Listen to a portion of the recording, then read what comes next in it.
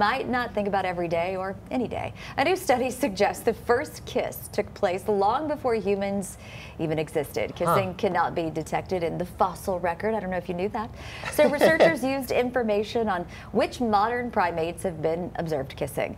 And then they used a kind of analysis that allows scientists to infer information about traits in extinct species based on the behaviors from living animals. After creating an evolutionary tree, the researchers suggest that the first kiss may have happened up to 21 million years ago among large apes.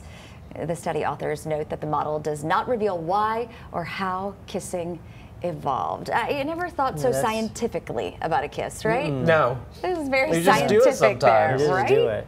Yeah. yeah. It's more of an emotional thing than yeah. a scientific thing, but mm -hmm. now you know. Just goes to show anything can be scientifically analyzed, right? Analyzed nowadays. Sure. The answer is love. That's there right. we go, simple and easy. That's where it originated from right? many, many moons ago. And kindness. It all goes back to kindness. Mm. Our